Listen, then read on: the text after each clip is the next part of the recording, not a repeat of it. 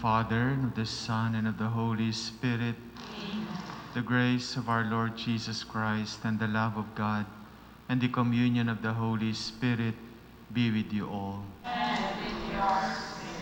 My dear brothers and sisters, coming together as God's family in memory of Saint Gregory the Great Pope, let us now, with all humility, acknowledge our sins and ask the Lord for his mercy. I confess, mighty God, and to you, my brothers and sisters, that I have greatly sinned in my thoughts and in my words, in what I have done and what I have failed to do, through my fault, through my fault, through my most grievous fault. Therefore I ask the Blessed Mary, ever Virgin, all the angels and saints, and you, my brothers and sisters, to pray for me to the Lord our God. May Almighty God have mercy on us, forgive us our sins, and bring us to everlasting life. Amen. Lord of mercy, Lord have mercy. Christ of mercy, Christ have mercy. Lord have mercy.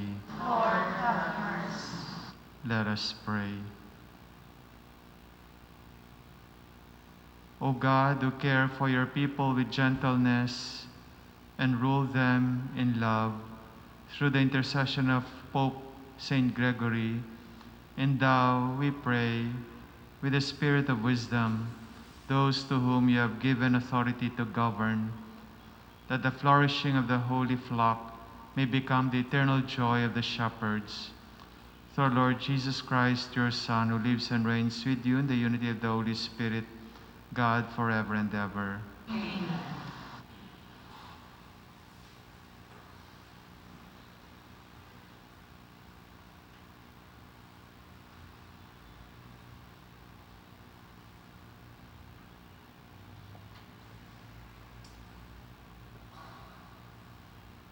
A reading from the first letter of St. Paul to the Corinthians. Brothers and sisters, learn from myself and Apollos not to go what beyond what is written, so that none of you will be inflated with pride in favor of one person over against another. Who confers distinction upon you? What do you possess that you have not received? But if you have received it, why are you boasting as if you did not receive it? You are already satisfied. You have already grown rich. You have become kings without us. Indeed, I wish that you had become kings so that we also might become kings with you. For as I see it, God has exhibited us apostles as the last of all, like people sentenced to death. Since we have become a spectacle to the world, to angels and men alike, we are fools on Christ's account, but you are wise in Christ. We are weak, but you are strong. You are held in honor, but we in disrepute. To this very hour we go hungry and thirsty. We are poorly clad and roughly treated. We wander about homeless and we toil, working with our own hands. When ridiculed, we bless. When persecuted, we endure. When slandered, we respond gently. We have become like the world's rubbish, the scum of all, to this very moment. I am writing you this not to shame you, but to admonish you as my beloved children. Even if you should have countless guides to Christ, yet you do not have many fathers. For I became your father in Christ Jesus through the gospel. The word of the Lord. The Lord is near to all who call upon him. The Lord is near to all who call upon him. The Lord is just in all his ways and holy in all his works. The Lord is near to all who call upon him, to all who call upon him in truth.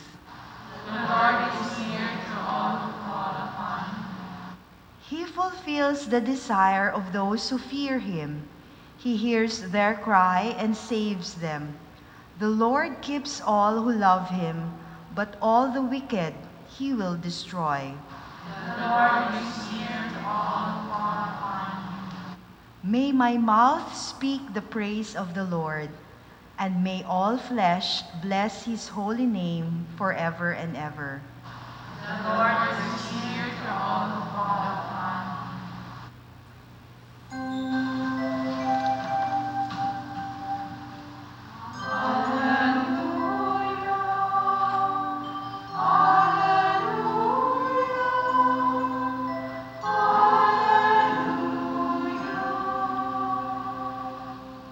Am the way and the truth and the life, says the Lord.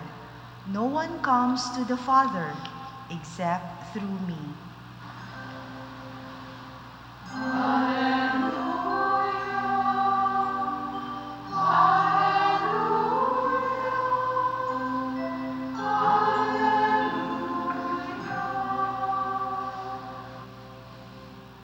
The Lord be with you. And with your spirit. A reading from the Holy Gospel according to Luke. While Jesus was going through a field of grain on a Sabbath, his disciples were picking the heads of grain, rubbing them in their hands, and eating them. The Pharisees said, Why are you doing what is unlawful on the Sabbath? Jesus said to them in reply, Have you not read what David did when he and those who were with him were hungry? How he went into the house of God, took the bread of offering, which only the priests could lawfully eat, ate of it, and shared it with his companions? Then he said to them, The Son of Man is Lord of the Sabbath. The Gospel of the Lord. Praise you, Lord Jesus. We are familiar with this story in today's Gospel. The disciples were passing by a field of grain and they got hungry. They started picking the grains and eating them. We are also familiar with the attitude of the Pharisees upon seeing this. They passed judgment on the disciples as violating the law of the Sabbath. But before we pass judgment on the Pharisees who passed judgment on the disciples, I'd like you to consider a few situations. You know, in our parish in Quezon City, at the, at the Minor Basilica of the National Shrine of Our Lady of Mount Carmel, you will see poor people asking for medicines at the office of the social service. We give free medicines to the poor. Some parishioners have actually confronted me with a question Father, are you sure that those people are not selling the medicines you give them? By this, you actually pass judgment on the people no? because you are saying that they are poor, there are poor people who sell the medicines, who sell the drugs to low class drugstores or to people who are who are in need of those drugs. There is the unwritten law at the back of our minds that says that since these drugs can be sold, therefore, these poor people will sell them. Or maybe a youth in the parish comes to you for help, but you know that this youth comes from a family that is not really hard up. And then you will tell you, you will tell this youth, your parents should support you. Well, maybe it is true, no? because the unwritten law says that parents should be able to sustain their children. But what if there are other factors involved? What am I trying to say? We still have disciples who violate the law, but we also have people who love the law, who love the people who violate the law. What I am saying is this. When we love, let us not put as a criterion that we will love only those who are obedient to the law. We will love only those who are honest. We will love only the people who are honest. We will love only the poor who obey the law. Are you aware that when God saved us, all of us were disobedient? When God saved us, we were not obedient to the law. And that is why God saved us. The message is this when you help, do not check whether those who will receive help are obedient or not, because God never does that to you. God helps us not because we are good, but because we are in need, and God is good. Brothers and sisters, may we learn to help one another, not because they will be grateful. May we learn to help and support one another, not because we like the person, but because we love.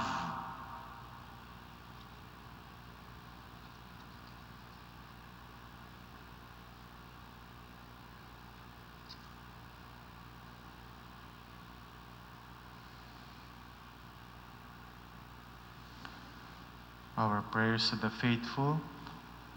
Jesus defended his disciples who were picking the heads of grain on a Sabbath. The Sabbath is not to burden the human person, but is a time given by God for rest and refreshment of body and soul. Let us pray that the overly burdened may have their load lightened. And so we pray, Lord, give us a heart that understands people's needs. Lord, give us a heart that understands people's needs. May church leaders have the heart of Jesus, who is close to the simple and unlearned, the poor and the wayward. We pray. Lord, give us a heart that understands people's needs. May judges and law enforcers have recourse to the spirit behind the law rather than its literal interpretation. We pray.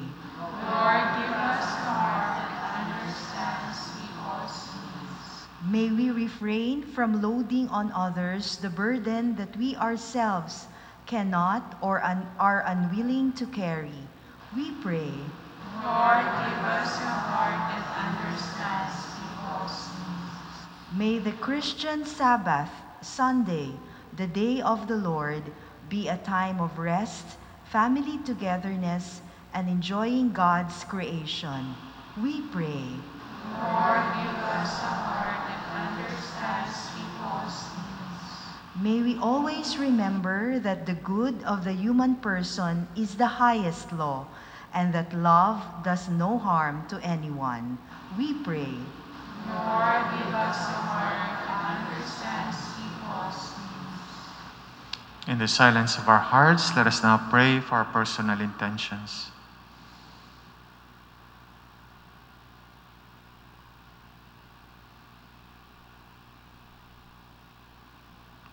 We pray, Lord, give us a heart that understands people's needs. Merciful Father, you provide time and season in all affairs in the world.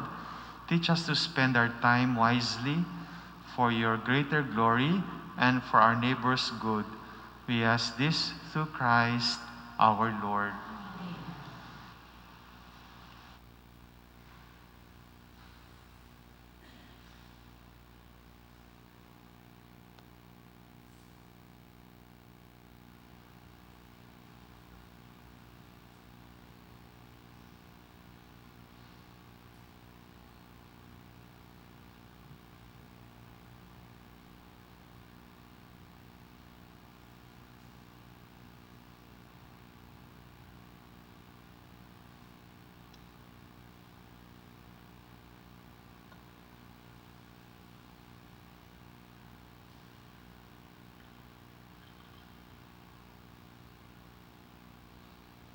Blessed are you, Lord God of all creation, for through your goodness we have received the bread we offer you, fruit of the earth and work of human hands. It will become for us the bread of life.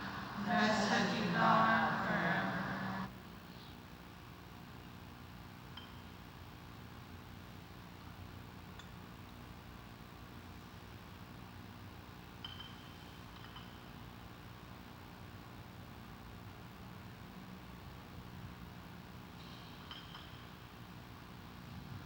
Blessed are you, Lord God of all creation, for with your goodness we have received the wine we offer you, fruit of the vine and work of human hands. It will become our spiritual drink.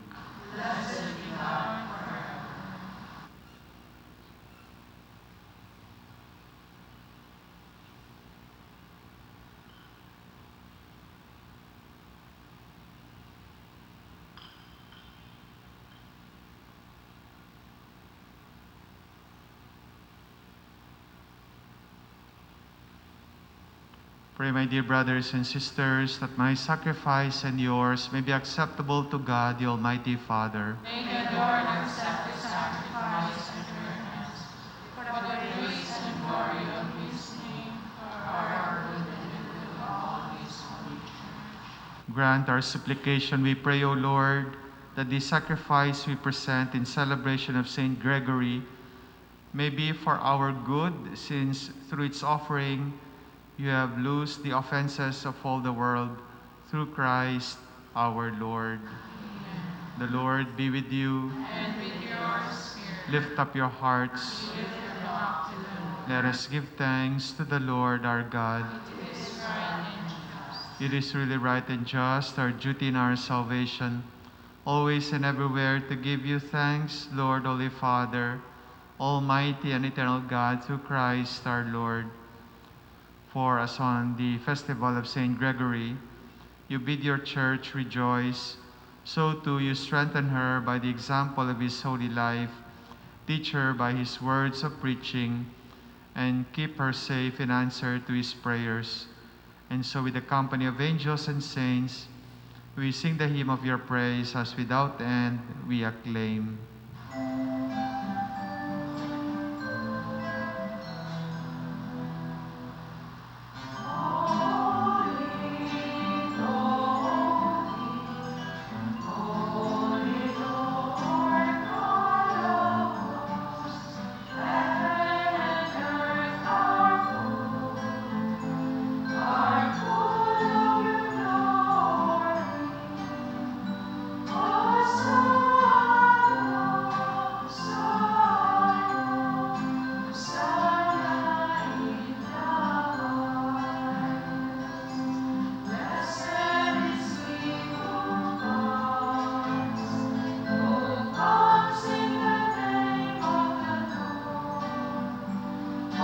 You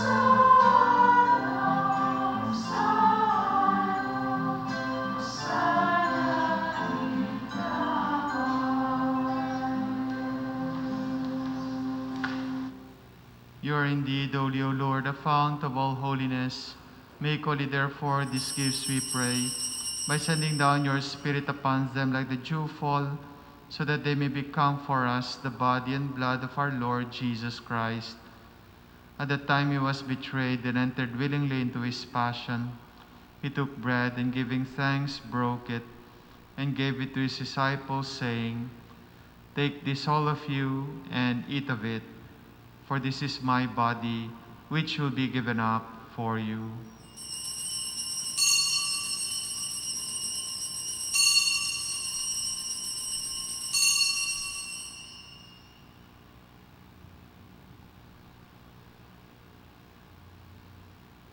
In a similar way, when supper was ended, he took the chalice, and once more giving thanks, he gave it to his disciples, saying, Take this, all of you, and drink from it, for this is the chalice of my blood, the blood of the new and eternal covenant, which will be poured out for you and for many, for the forgiveness of sins.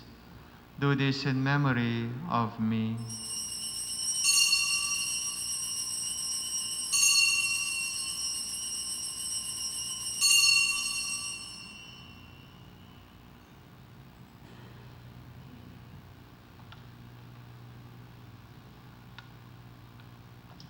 The mystery of faith.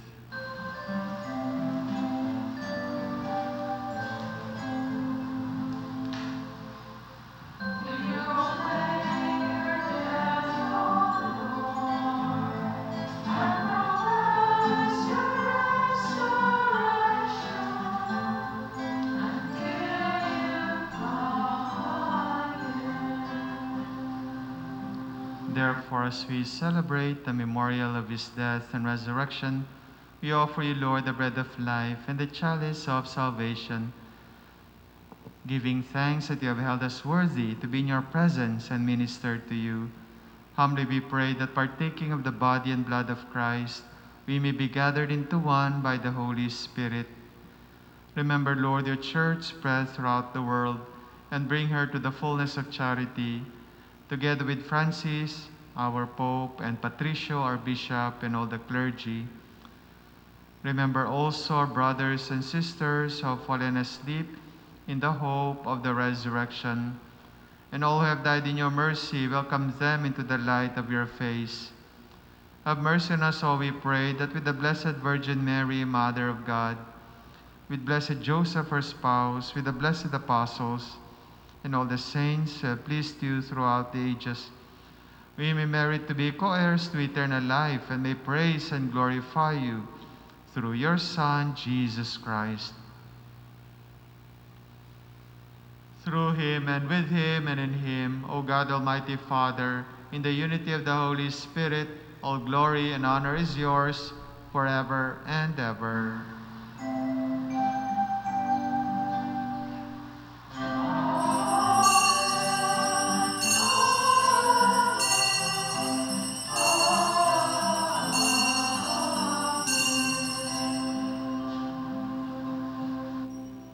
At the Savior's command, informed by divine teaching, we dare to say,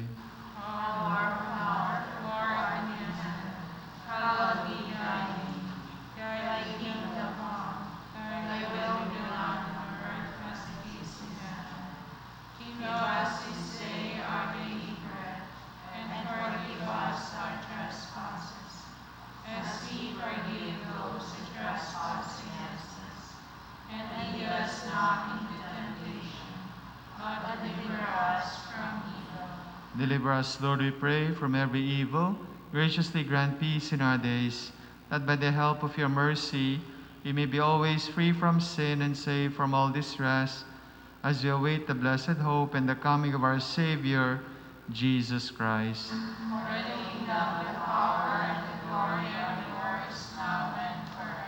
Lord Jesus Christ, who said to your apostles, Peace I leave you, my peace I give you, Look not on our sins, but on the faith of your church, and graciously grant her peace and unity in accordance with your will, who live and reign forever and ever. Amen. The peace of the Lord be with you always. And with your spirit. Let us offer each other the sign of peace.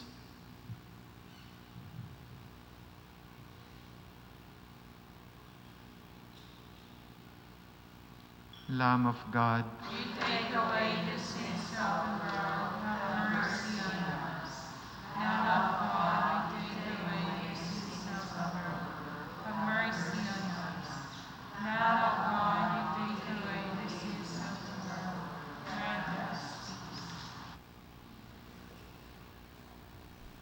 Behold the Lamb of God, behold him who takes away the sins of the world. Blessed are those called to the supper of the Lamb. Lord, I am not worthy that you should enter under my roof, but only say the word, and my soul shall be healed.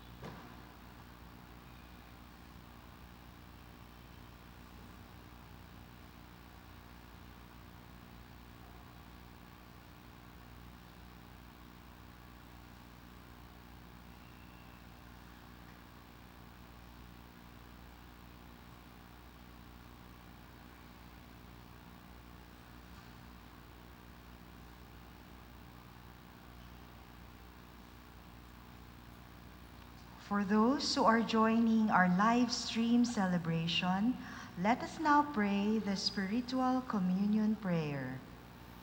O my Jesus, I believe that you are truly present in the Blessed Sacrament. I love you and I desire you to come into my heart. Since I cannot receive you sacramentally, come spiritually into my heart. I embrace you. Oh, never leave me. May the burning and most sweet power of your love consume me, that I may die for you, who died for love of me. Amen.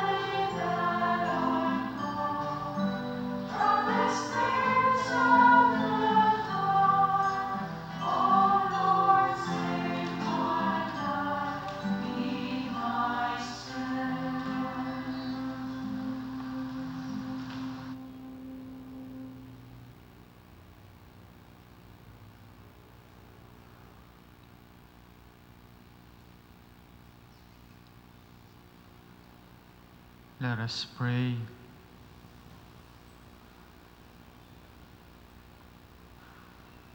Through Christ the teacher, O Lord, instruct those you feed with Christ, the living bread, that on the feast day of St. Gregory they may learn your truth and express it in works of charity through Christ our Lord. Amen.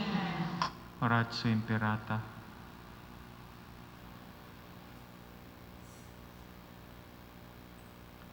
Merciful and compassionate Father, we confess our sins and we humbly come to you to find forgiveness and life. We come to you in our need to seek your protection against the COVID 19 virus that has disturbed and claimed many lives. We ask you now to look upon us with love and by your healing hand dispel the fear of sickness and death. Restore our hope and strengthen our faith. We pray that you guide the people tasked to find cures for this disease and to stem its transmission. Bless our efforts to use the medicines developed to end the pandemic in our country. We pray for our health workers that they may minister to the sick with competence and compassion. Grant them health in mind and body, strength in their commitment, protection from the disease. We pray for those afflicted. May they be restored to health. Protect those who care for them. Grant eternal rest to those who have died. Give us the grace in these trying times to work for the good of all and to help those in need. May our concern and compassion for each other see us through this crisis and lead us to conversion and holiness. Grant all this through our Lord Jesus Christ, your Son, who lives and reigns with you in the unity of the Holy Spirit, God forever and ever. Amen. We fly to your protection, O Holy Mother of God. Do not despise our petition in our necessities, but deliver us always from all dangers. O glorious and blessed Virgin. Amen. Our Lady, Health of the Sick, Pray for us. Saint Joseph, Pray for us. Saint Raphael the Archangel, Pray for us. Saint Sebastian, Pray for us. Saint Roque, Pray for us. Saint Lorenzo Ruiz, Pray for us. Saint Pedro Calungsod, Pray for us. Saint Gregory the Great. Pray for us.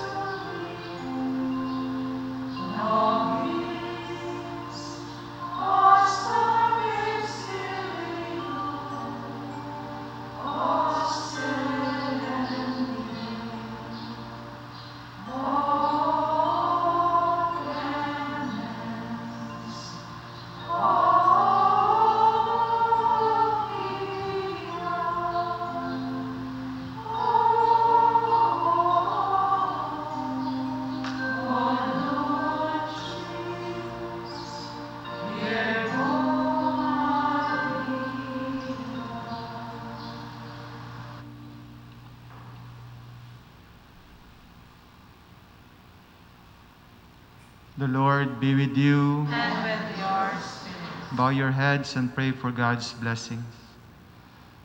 May the Lord bless you and keep you. Amen. May He let His face shine upon you and show you His mercy. Amen. May He turn His countenance towards you and give you His peace. Amen.